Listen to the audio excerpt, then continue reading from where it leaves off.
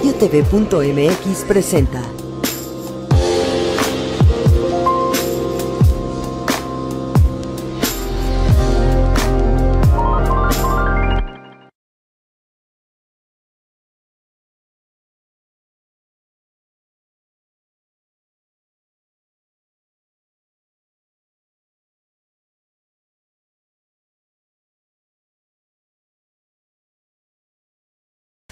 Hola, hola, buenas tardes, bienvenido a un programa más de Coaching al Desnudo, el espacio honesto del coaching. ¿Qué tal esta semana? ¿Cómo te ha ido? bueno, bienvenidos, te recuerdo las redes sociales, Coaching al Desnudo, Facebook, Twitter, arroba Coaching Desnudo. Ahí puedes encontrar como Julio Álvarez, eh, Master Coach Integrativo en Facebook.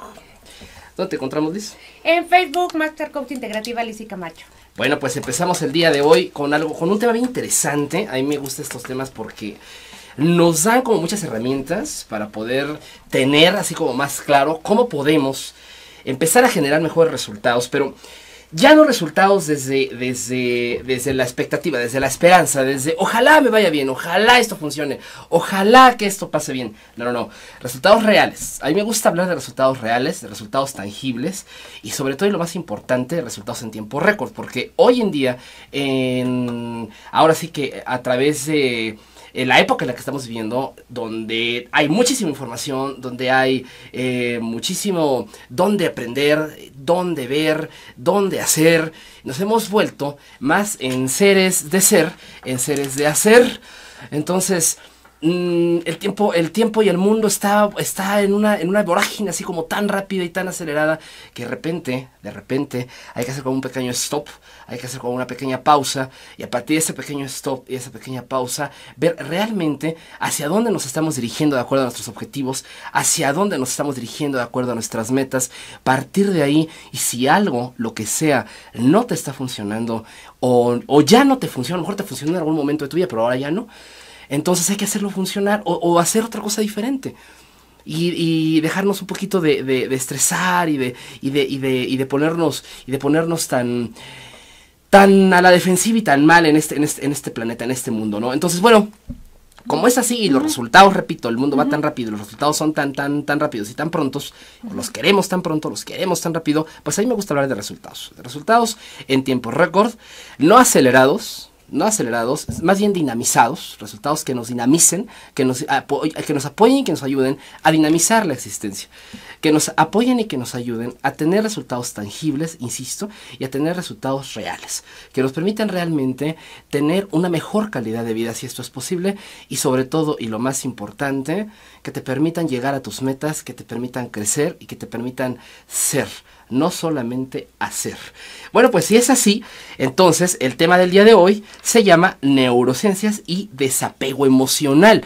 Y, y tú te preguntarás, ¿qué tiene que ver el desapego emocional con las neurociencias? Pues tiene que ver todo tiene que ver todo, porque resulta que eh, para haciendo, ahora sí que parafraseando la, la, palabra neurociencias, hoy estamos hablando de unas ciencias que eh, a partir de la década de los años 80 se vinieron a reencontrar de nueva cuenta. En los 90 fue cuando más, más, más han crecido, ¿no? Pero, eh, o más se han desarrollado los, los diferentes eh, teorías y los diferentes avances, pero definitivamente se separaron desde, desde los años 40, si no es 40 y algo, no recuerdo exactamente la, el si fue el 42 o el 46 o el 49, pero en los años 40 se separaron dos grandes, dos, dos grandes eh, pilares de la ciencia que fueron la neurología y la psiquiatría a partir de la década de los 80, en los, en los 60 vuelven como a, como a tener ciertos, ciertos eh, líneas en las que vuelven a converger, pero en la década de los 80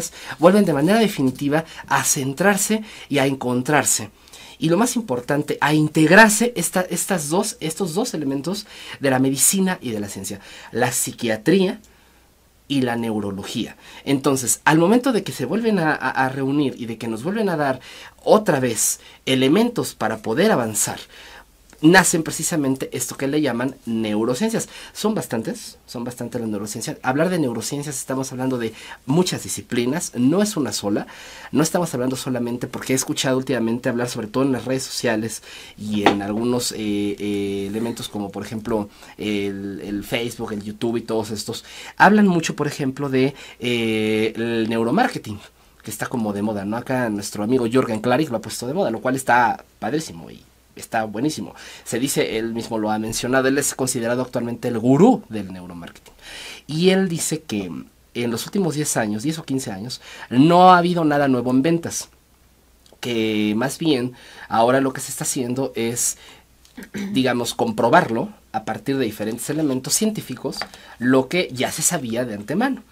Entonces, si esto es así, si esto es así, pues entonces probablemente no haya, no haya muchas cosas nuevas en casi nada.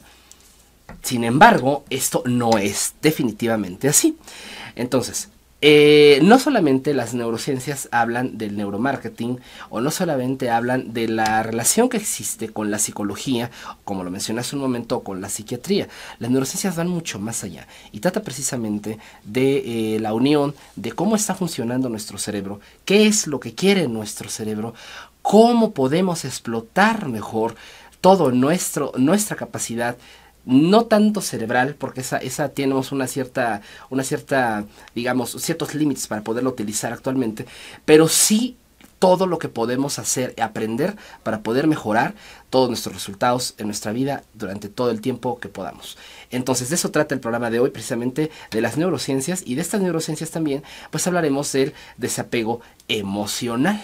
Resulta que estar apegados o, estar eh, desapegados nos puede permitir avanzar o quedarnos estancados en diferentes en diferentes etapas y en diferentes dimensiones en nuestra existencia. Te voy a recordar rápidamente que nosotros trabajamos en seis dimensiones claves. La dimensión espiritual, la dimensión emocional, la dimensión mental, la dimensión física, la dimensión social y la dimensión material. Entonces, en todas estas dimensiones en las que estamos trabajando y en las que estamos viviendo y en las que estamos coexistiendo, Aparte, obviamente, hay muchas subdimensiones más, pero en estas que estamos ya trabajando, repito, y subsistiendo, coexistiendo, entre, nosotros y con otros seres humanos y con las circunstancias que nos rodean nuestra vida, pues en estas, en todas estas eh, eh, dimensiones existen formas en las que nosotros nos vamos apegando a ciertas circunstancias de vida, a ciertas personas en nuestra vida o a ciertos elementos en nuestra vida. Estos apegos nos limitan o nos pueden catapultar. Esa, esa, es, esa, puede ser, esa puede ser la clave para que tú comiences a tener mayores éxitos o definitivamente te quedes estancado o te quedes estancada. Entonces, imagínate saber lo que dice tu cerebro y además saber cómo puedes desapegarte emocionalmente de todo aquello que puede estarte limitando o puede estar ejerciendo un eh, distractor o una interferencia o un, repito, limitante en tu crecimiento, en tu crecimiento personal. Me gustaría que te quedaras con este video, un video de introducción dentro del programa, para que empecemos con el tema. Adelante, Master.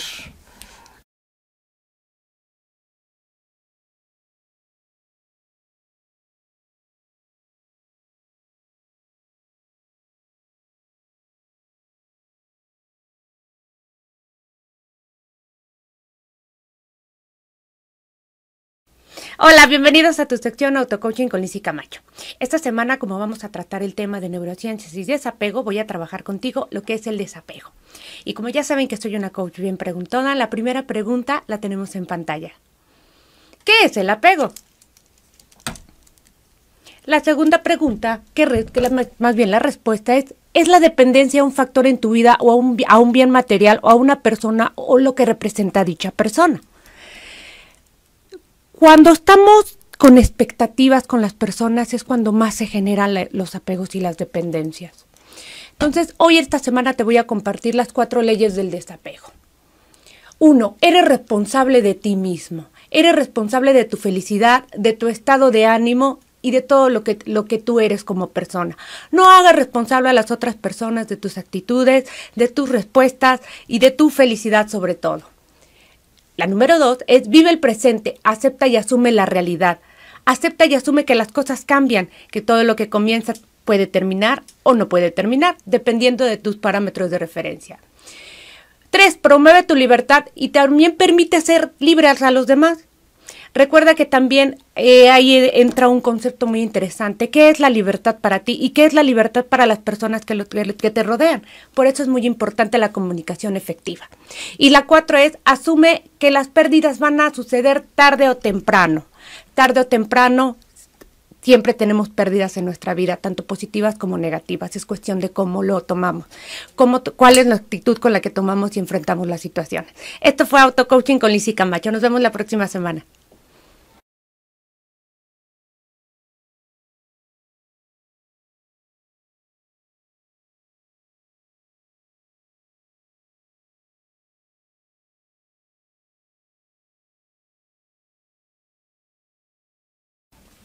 Y regresamos. ok. Bueno, ¿qué nos hace? Qué no, a ver, ¿qué nos hace? A ver, te, tengo, te tengo dos preguntas. ¿Qué es lo que nos hace decidirnos? ¿Qué es lo que nos hace tomar decisiones? ¿Y eh, qué es lo que nos hace tomar ciertas, ciertas acciones? Eh, si tú estás claro o estás clara de qué es exactamente lo que está pasando en tu subconsciente, en tu cabeza, que nos hace tomar decisiones o que nos hace tomar diferentes acciones, entonces estás del otro lado. Pero si no, precisamente por eso vamos a tener el día de hoy a una invitada que me encanta porque resulta que ella es terapeuta, ella es conferencista, es speaker profesional de hecho y además internacional. Ella es eh, maestra justamente en neurociencias, es muchísimas, muchísimas, muchísimas cosas más, pero me gusta que tiene sobre todo una especialidad y un doctorado, de hecho, en educación, en educación especial. Ella ya, ella ya ha estado, eh, eh, seguramente las has eh, visto porque ella tiene un libro por ahí bien interesante que nos va a platicar en un ratito. Y ella es experta también en todo lo que tiene que ver con las emociones, el manejo, el manejo emocional. Ella es, ella es Gabriela Soule. Hola Gaby. ¿Cómo están? ¿Cómo estás? Yo feliz de estar con ustedes. ¿Y qué tal? ¿Cómo, ¿Cómo, te va? ¿Cómo, te, ¿Cómo llegaste? bien, bien, llegué con tráfico, pero muy contenta. muy esperanzada de estar con ustedes en su programa. Muchas gracias, David. Está súper Gracias. Sí, como siempre, pero ya hay que acostumbrarse, total, hay que programarse para tener tranquilidad y tomar las cosas como ah, vienen. Como bien dice Lizzy, todo acaba, todo empieza, hay que mantener el orden. sí, claro, claro, sí. Muy bien. Gaby, eh, pues eh, vámonos a un corte, vamos a corte, este, producers, y regresamos contigo para hacerte algunas preguntas que tienen que ver precisamente con cómo vamos a, a manejar este desapego emocional, pero desde lo comprobado, desde las neurociencias. Vale. Regresamos.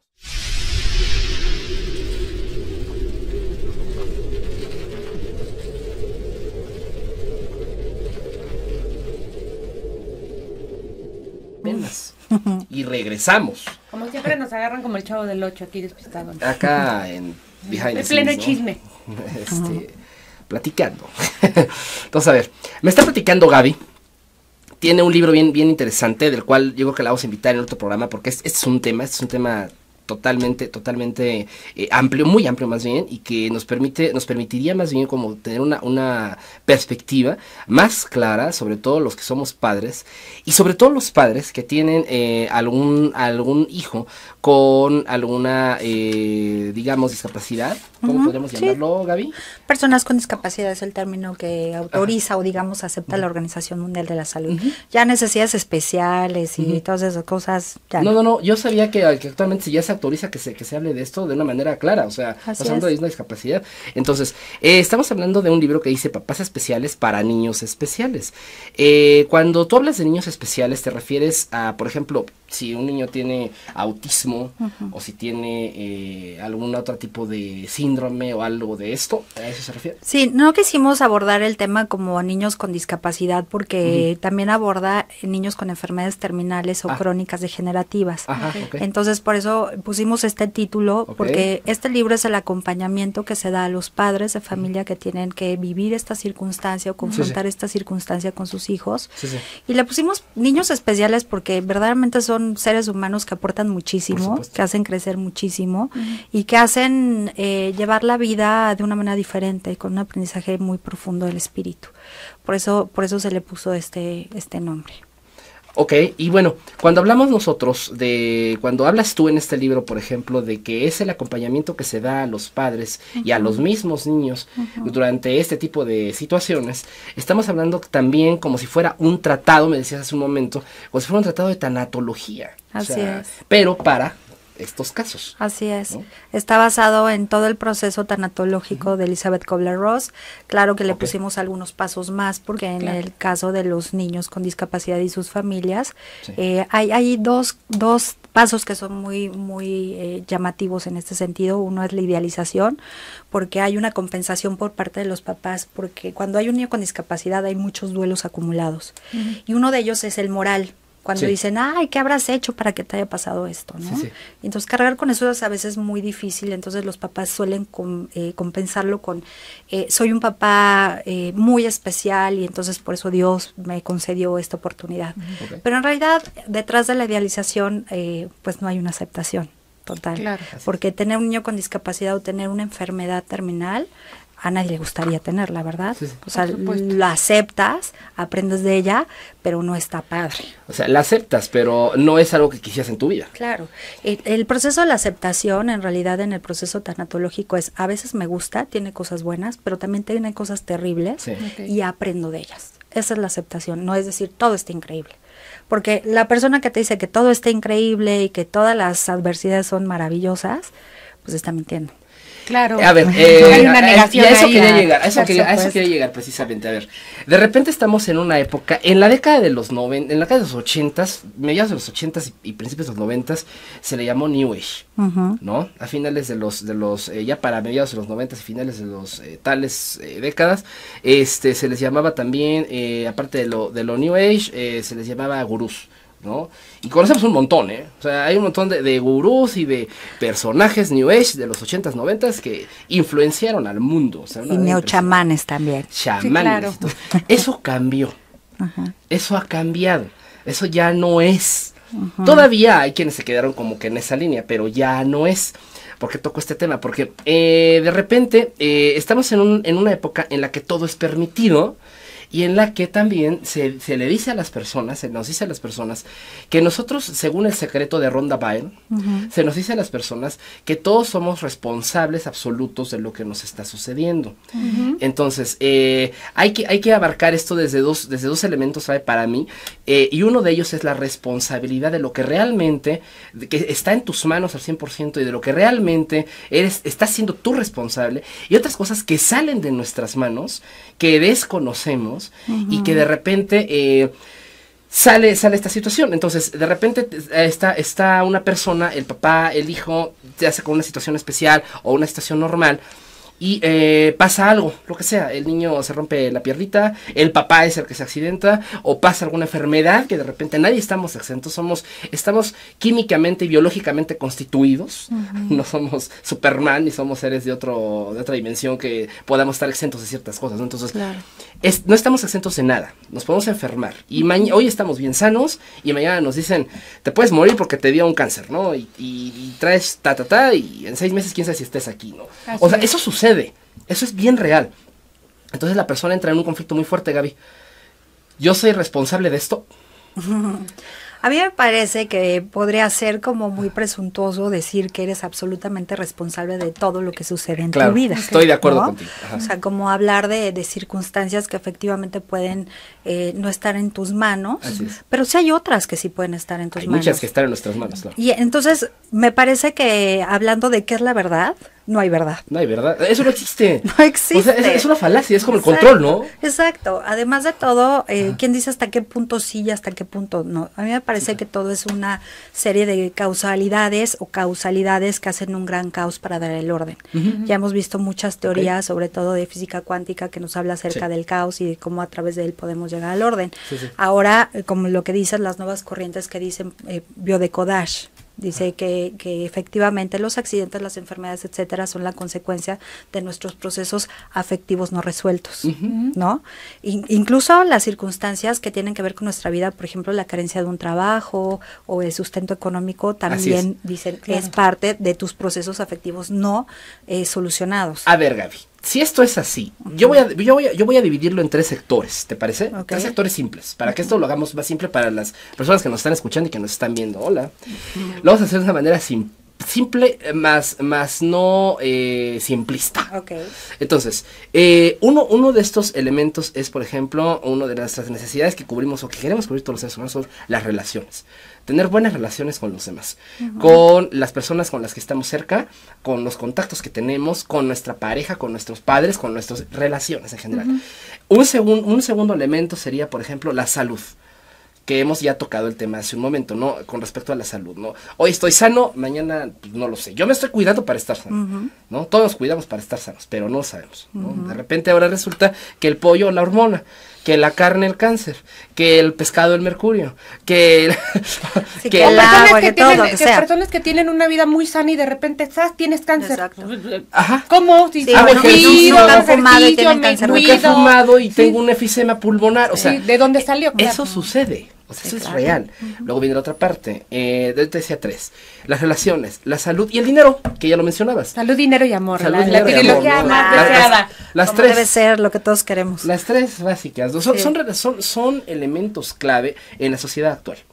Eh, y son necesidades clave que todos los seres humanos estamos tratando de obtener. Obtener. Eh, Pero fíjate, todas estas tres palabras que estás diciendo, yo las definiría en una sola. Venga, éxito. A ver, ¿y qué quiere ser el éxito? Es alcanzar todas las metas en una, en una posición totalmente óptima. Óptima, ok, eso me Entonces, si queremos mucho amor, queremos el mejor amor, queremos la mejor salud, queremos el más el dinero mejor, el mejor estatus, etcétera, todo tiene que ser con calidad de vida en todas las extensiones. Pero en realidad, ¿crees que esa calidad de vida? Me parece que es demasiada exigencia y esta exigencia hace muchas veces que suframos y porque no somos congruentes. ¿Verdaderamente estás trabajando por lo que quieres? Si, si estás trabajando por la meta de los demás o las expectativas de los demás, entonces hay una implicación de sufrimiento ahí. Claro, claro. Y entonces, hablando de, de vamos a ver qué es lo que quieres con lo que puedes hacer realmente, que puedes hacer lo que quieras. Pero si hay una congruencia, eso te va a dar la felicidad. Eso te, va, te da cierto nivel de felicidad. Claro, pero ¿cuántos momentos, ¿no? Sí, claro. Y, es, que también hay que diferenciar hasta dónde, te empieza, eh, dónde empieza la felicidad y dónde comienza el estrés. Exacto. el estrés de que ¿qué quiero esto. y además el ser esclavo, ¿no? O sea, como ya llegué a cierto estatus, entonces tengo que mantenerlo. Exacto. Joan Garriga tiene una, una conversación que me encanta en sus conferencias que dice, pasas la mitad de tu vida llegando a la meta o tratando de llegar a la cumbre, ¿no? Y ya cuando estás en la cumbre, llegas ahí y dices, eh, ya, ya llegué, el mundo te responde, pues a mí no me importa, ¿Ah, porque ahora viene la bajada. Y siempre te preocupas por llegar a la cumbre, pero no te preocupas cómo lo vas a bajar. Claro. Imagínate y eso es natural. Imagínate, Gaby, qué interesante sería darnos cuenta, no solamente de que podemos llegar a la cumbre, pero bueno, trabajar por ello, porque al final del día estamos aquí cubriendo algún tipo de expectativa, sea personal o hasta de otros, ¿no? Eso, eso es casi inevitable. Solo hay que tenerlo consciente. Y congruentemente. Y, y, tenerlo consciente, ¿no? Y como dices tú, tenerlo en congruencia personal. Es correcto. Además, no congruencia hacia, hacia afuera, ¿no? Y aceptar nuestras limitaciones y errores, porque eso es la parte fundamental también. Sí. Sí, eh, pretender que somos perfectos es, esclavizante y es totalmente neurótico además. Es neuro Así decimos en psicología. Es una neurosis progresiva. Sí, es terrible. este, pero yo te, yo te quería comentar, este camino hacia la cima, este camino hacia el éxito, tal vez sería mejor disfrutarlo, ¿no? O sea, no solamente estar, estar esperanzados en querer controlar el momento en el que tengamos ese, ese, ese, esa llegar a esa cima, o llegar a ese nivel, o llegar a esa meta, o cubrir esas metas, sino disfrutar el proceso. Eso es algo que, por ejemplo, se habla mucho en coaching, ¿no? O sea, esa brecha entre el lugar en el que estás ahora y el lugar al que vas a llegar, pues a ver, habríamos que disfrutarlo. Es como parte de, ese proceso, pero no, no lo, esos momentos que tú mencionabas hace un momento, hace un ratito, esos momentos de felicidad que nos pueden ir dando en suma cada uno, esa pequeña calidad de vida que nosotros damos como otorgándonos, como proporcionándonos. Tú hablabas de, un esclavo. Eh, en psicología también, también sabemos, tú lo sabes, colega, de hecho, que eh, también eh, dentro de todo este, dentro de todo este, este, este marco, cuando nosotros nos apegamos a algo, nos apegamos a algo, nos hacemos adictos a ese algo, precisamente, es cuando nos volvemos esclavos de ese algo. Ya sea una persona, una circunstancia, una situación, un estatus. Una sustancia, un evento. Un evento, una sustancia. Un estado emocional también. Un estado emocional, lo que sea, lo que... Es más, muchas veces esto nos define. Sí. Yo he encontrado personas que están tan metidos en, en esa victimización tan fuerte, o sea, es que me va, es que me se enamoran tanto de su historia y te la platican todo el tiempo y están tan metidos y tan sumergidos en ello seguramente conoces personas así, que, que cuando en el coaching, por ejemplo, o en terapia, o en programación neurolingüística, en, en la herramienta que tú quieras, ahora conocemos, nosotros somos, eh, eh, eh, ¿cómo, se dice? Este, certificados por método Integra, ¿eh? Quiero que sepan. Entonces, este, también, también Gaby está certificada método. Entonces, hablamos de mismo idioma. De hecho, los tres. Ah, los también tú estás certificada en el, Gracias por tomarme cuenta. Los tres. Los tres. Aquí estamos hablando de lo mismo, entonces esos, esas herramientas de liberación emocional, precisamente porque ya mencionar esto, las herramientas de liberación emocional, introducirnos al subconsciente y todo lo que ya sabemos, ¿no? Está ahí, está presente. Hacemos el trabajo con las personas. cumplimos esa labor de ser una herramienta más, Gaby. Así es. Pero resulta que la persona está tan, tan, tan clavada con esa historia personal que tiene, o tan metida, como decías tú, en ese estado de víctima, de, soy la víctima, soy la víctima. No, y también en, el, perdón, te, interrumpo, pero también no nada más en el de la misma, también el estado de negación de que no, todo está bien y mm. debo de estar en una súper buena actitud, todo el tiempo te, querer estar también en un estado y no permitirte también eh, la, la, riqueza de la variedad de las emociones, también esto es importante. Ahora sí te escuché, producer, gracias. Entonces, entonces eh, si tenemos todo esto, Gaby, mi, para donde quiero ir contigo es, si tenemos todo esto, ¿qué pasa con las personas? ¿Qué nos está diciendo el cerebro de esta persona que no es, que, que sigue ahí y que sigue en ese estado, que se está esclavizando en ese estado de victimización, en ese estado de todo es increíble, como dice la canción esa de los Legos, que es una película muy interesante por ahí. Es con la que empieza la película, ¿no? Todo es increíble, sí, de verdad. Ah, no la he visto. ¿No la has visto? La, película de los Legos, ahí vean la, la primera canción de, la película, los primeros minutos, todo es increíble. todo es, no, la manipulación en toda su extensión en esa película sale ahí en los primeros minutos. Entonces, este, entonces, Gaby, a ver, cómo podemos salir de ese, esclaviza, de ese esclavizamiento, de ese esclavismo, más bien, y de ese apego que sentimos, sea personas o tal, o circunstancias, o estados emocionales. Bueno, mira, hace ratito estabas platicando acerca de todo lo que se ha estudiado del cerebro y efectivamente en este, este a partir del siglo XXI se empezó a estudiar en los últimos años muchísimo acerca de las funciones del cerebro.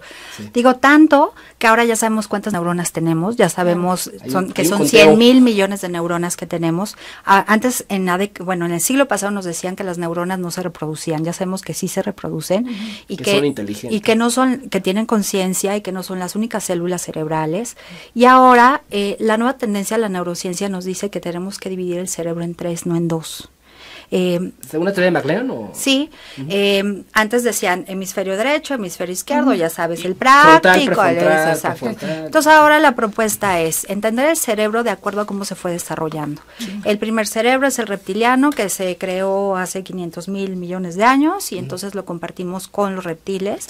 es un cerebro totalmente impulsivo, exacto, y donde están ahí este, nuestras funciones básicas neurovegetativas. Pero ahora se ha encontrado que en el cerebro cerebelo hay funciones muy importantes en emociones muy complejas. Sí, sí, así es. Sobre todo sobrevivencia. De supervivencia, así es. Y entonces, eh, eh, esto, este tema de la vinculación que le llamamos apego también tiene mucho que ver con la sobrevivencia. Porque el ser humano eh, hace este apego por una cuestión orgánica empieza a vincularse con su medio ambiente alrededor del, del primer año es cuando se empieza a hacer el vínculo más fuerte. Vida, de hecho. Así es. ¿Por qué? Porque es necesario, porque un bebé si no se vincula y no se apega a un adulto, pues orgánicamente moriría. Y además de todo para él es importante porque de ahí aprende de lo que ve. Entonces ya se van estableciendo las primeras pautas para que nos vinculemos emocionalmente. Así es, los primeros caminos neuronales, los primeros gramajes neuronales, desde los primeros ocho meses de edad. Ya lo hemos comentado aquí en el programa, perdón Gaby, que, que si hay inclusive elementos, estímulos, que si no obtenemos durante los primeros ocho meses de nuestra vida, no los vamos a obtener por el resto de nuestra vida. ¿eh? Claro pase lo que pase, es increíble esto. Además está comprobado y se hicieron estudios en 1947, 46 después de la Segunda Guerra Mundial de niños que no tenían este contacto, esta vinculación afectiva, como su discapacidad, se hacía toda una discapacidad intelectual alrededor de ellos simplemente por la no vinculación emocional. Y una exactamente, y había había menos menos eh, digamos vinculaciones emocionales con estos niños estudiados después en la década de los 60. Es correcto. Entonces, ahí vamos a ver el, la primera parte del ser humano vincularse es totalmente orgánico y es necesario. Después viene el segundo cerebro, lo que es el mesencéfalo, donde está el gran rey, que es el cerebro emocional. El cerebro emocional. Y es o el cerebro que- mamífero, ¿no? Sí, pero además también las investigaciones nos dicen que es el cerebro que nos rige. Así es. El 90% de tus decisiones están hechas por tus emociones. Así el es. 10% Total. únicamente eh, tu raciocinio, la parte frontal, eh, lo ocupa para justificarlo. Pero cuando tú ya tomaste una decisión, lo haces de, de feeling, digamos, claro. de mesencéfalo. Lo que pasa es que la- la- la- la- el razonamiento se, se usa únicamente, fíjense qué interesante lo que acaba de decir Gaby, ¿eh? Tomas tus decisiones de manera emocional todo el tiempo. Lo que viene después es la justificación de la decisión que tomaste. Es- ahí es donde entra la inteligencia emocional. O sea, si tienes una emoción, la- la- ¿cómo vas a reaccionar? O sea, si por Sí. ejemplo, estás A muy- ver, voy a resumir, perdón, perdón. No, No, sigue, termina, sigue, termina. sigue, no, sigue, sigue. Termina. Ya síganle, muchachos, ya me tienen así. Ah, toin, toin, toin. Sí. Este, no, es que hay una cosa bien interesante que acaba de- que acabas de decir antes de que llegues al tercer cerebro de Maglean, según la teoría de Maglean. Eh, resulta que tenemos ese, ese animalito, hemos- lo hemos platicado aquí de los siete principios, eh, ya sabes, en, en psicología, ¿no? El primero es el animal que todos traemos dentro, ¿no? Ese animalito que todos tenemos dentro está precisamente eh, evitando el olor y buscando el placer. Todo el tiempo. Entonces, si estamos nosotros buscando el placer y evitando el dolor y combinamos esto con la parte emocional, lo que estamos sintiendo, que viene en el apego desde los primeros ocho meses de edad, a partir de nuestra madre, nuestro padre, nuestro primer círculo, ¿qué pasa con las personas que, por ejemplo, se, eh, no se están, eh, digamos, no están soltando, no están liberando, Gaby, ni sus emociones de manera adecuada? Que eso es muy común también, porque estamos, más bien nos, nos Sí, educan claro. para eh, rechazarlas o, o evitarlas cuando nos sentimos tristes. No, no, estoy bien Así es. por ejemplo, ¿no? ¿Qué, qué pasa con las personas que no pueden evitar eh, hacer este tipo de control emocional? Por llamarlo de alguna forma, porque las emociones no se pueden controlar. Redirección emocional. Redirección emocional. ¿Y qué pasa con las personas que eh, no tienen claras sus prioridades entre dónde, cuándo estoy sintiendo ese dolor y cuándo y cuándo puedo buscar ese placer? Ok.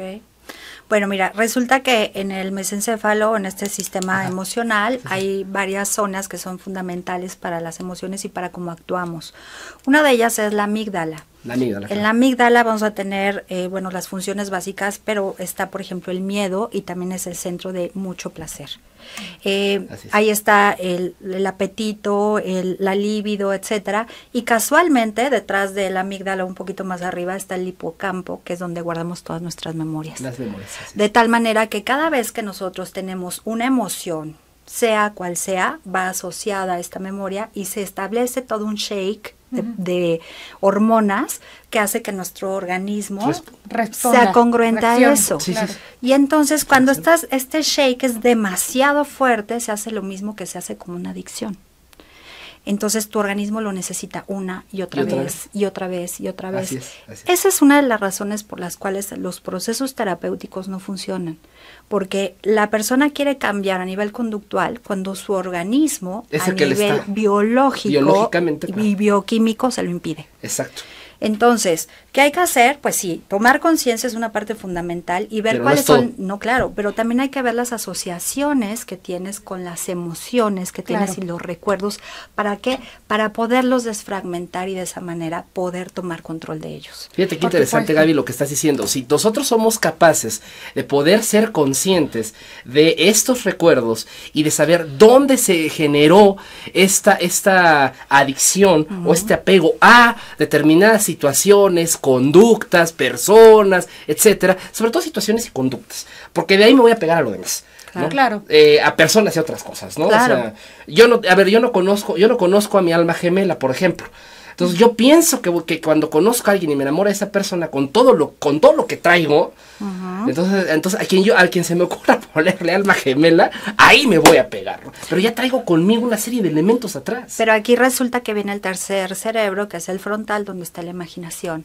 Y entonces tú con un- una imagen, imaginándote que te vas a encontrar el amor de tu vida, lo que haces es estimular el sistema límbico, sentir lindo, y entonces acostumbras a tu sistema nervioso central o tu sistema mesencefálico a tener estas sensaciones. Y entonces tenemos a las personas que toda la vida se la pasan imaginándose cuándo va a llegar y cuándo va a ser, y cuándo- que dices, a ver, y si no llega. Espérame, espérame, Gaby, se pone mejor. Lo puedes tener enfrente. Exacto.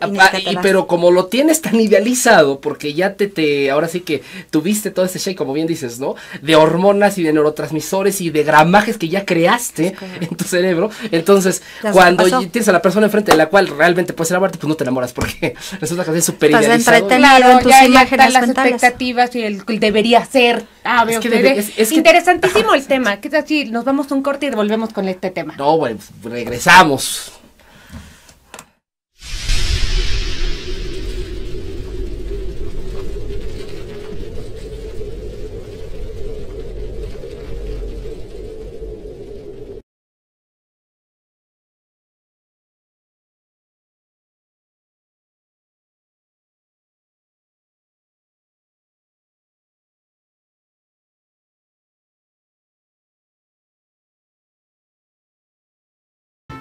Y regresamos, esta vez con el libro, el libro de la semana. Y esta semana te vamos a recomendar, eh, pues, el libro de Walter Rizzo. A ver si lo pones en pantalla, este, porfa.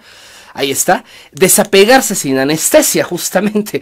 Es un libro bien interesante donde Walter Rizzo nos explica y nos platica cómo es que podemos desapegarnos, dejar de ser esos esclavos de esas relaciones, de esas emociones, de esos eh, elementos que a veces nos, ya nos identifican y que no nos permiten muchas veces avanzar. Recuerda que cuando estás apegado a algo, cuando estás apegado a algo o a alguien o cualquier circunstancia, incluso estados emocionales, como mencionaba Alicia hace ratito, pues entonces te conviertes en esclavo de ese algo, de ese alguien. Te puedes convertir incluso en adicto de ese algo, de ese alguien o de esa circunstancia. Y eso no te va a permitir, pues obviamente, avanzar de manera más clara y mucho más propositiva en todos los aspectos de tu, de tu existencia y llegar mejor a tus, a tus metas. Aunque decíamos hace ratito, también te recuerdo que lo mejor es disfrutar el camino. Así que ahí está el libro, Walter Rizzo, Desaparecer pegarse sin anestesia, que es la recomendación de esta semana.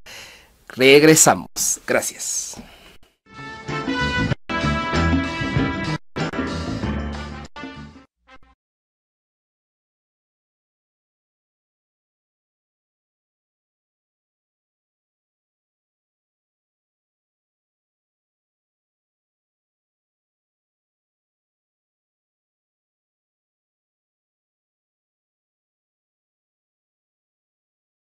Ah, bueno, pues aquí estamos de regreso.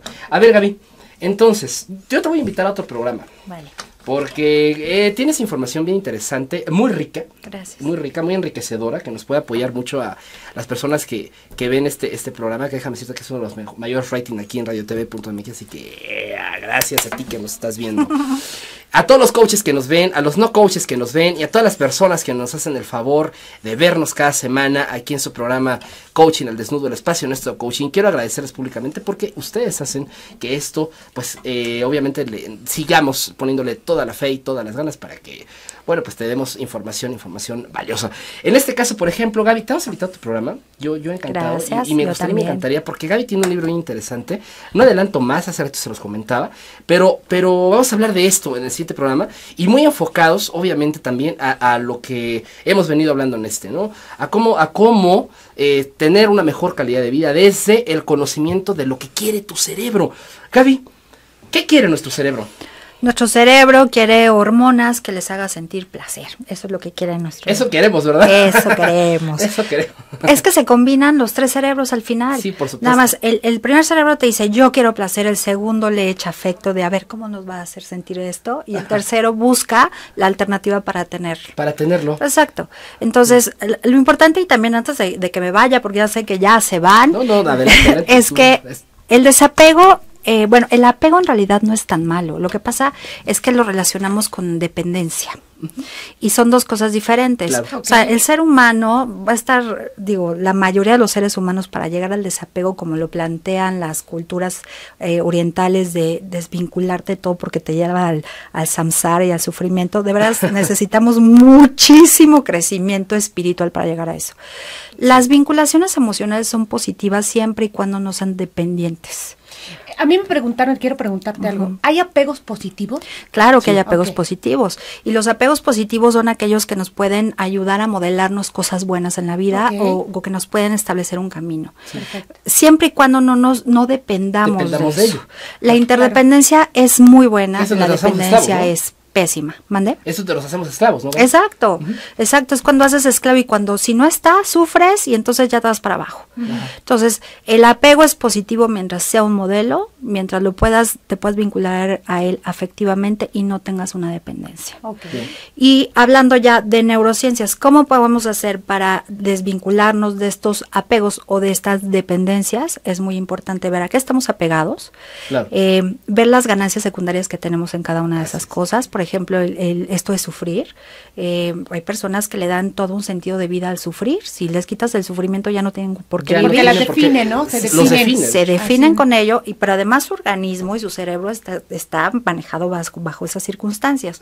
Entonces, ¿qué debemos hacer? Darle al cerebro hormonas que puedan compensar esa adicción. ¿Cómo? Con ejercicio, con sueño, con visualizaciones, con meditación, eh, con actividades positivas, con modelajes diferentes, para compensar un poco esto y que la persona esté consciente, y tú lo sabes, tú también, Lisi, en la programación neurolingüística, que esto se haga por lo menos durante 21 días a 42 días seguidos. Como mínimo como mínimo. que para que para que esto esto es para implantar el, hábito, que es lo que finalmente te va a dar el resultado. Así es. Porque sabemos que para que el hábito empiece a reflejarse en nosotros son 100 días. Así es. Son de 90 a 100 días.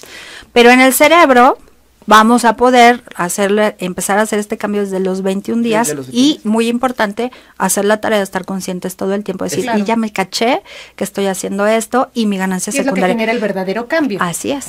Saber cuál es tu zanahoria o saber cuál es tu premio cada vez que haces eso. ¿No? Cuando sufro me apapachan, entonces en realidad lo que necesito es que me apapachen. Sabes que no sufras, mejor pide que te apapachen directamente. Mejor pide que te apapachen y, en vez de, hay alimentos que nos apapachan, hay personas que nos apapachan, actividades que nos apapachan, actividades que nos apapachan.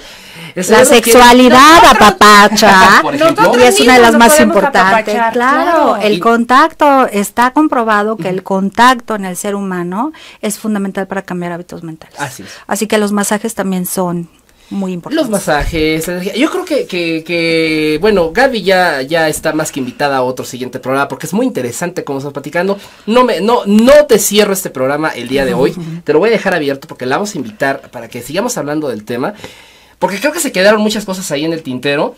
Yo, por ejemplo, te quería hablar de las cinco eh, eh, hormonas claves que necesita tu cerebro y que te las está pidiendo todo el tiempo. Entonces ya no hay tiempo para esto, pero en el siguiente programa sí las vamos a mencionar. Hasta se las voy a preguntar a nuestra invitada Gaby. voy a estudiar, ¿eh? ¿sí, te vienes a otro programa? Claro. ¿Te gustaría? Con muchísimo gusto poder estar con usted. Muchas pues gracias. ¿Dónde te encontramos, Ah, es muy fácil. Me pueden eh, buscar en www.gabisoule.com y el correo es gabisoule.com. Soule, así se S-O-U-L-E. ¿Así como está en pantalla? Así aparece en pantalla, así es. Muy bien, Gaby, pues, caray, bienvenida. Muchas gracias a, a los dos. Smart Coaching y bienvenida a esta serie de programas que vamos a hacer contigo. Muy amables, gracias. ¿Dónde encontramos, Liz? Eh, Facebook, Liz y Camacho, Master Coach Integrativa. Ahí me encuentras como Julio Álvarez, Master Coach Integrativo en Facebook. Te recuerdo esas redes sociales, Coaching al Desnudo en Facebook y Twitter, arroba Coaching Desnudo. Nos vemos en la siguiente semana, no te puedes perder, vamos a hablar de PNL. Gracias. Bravo.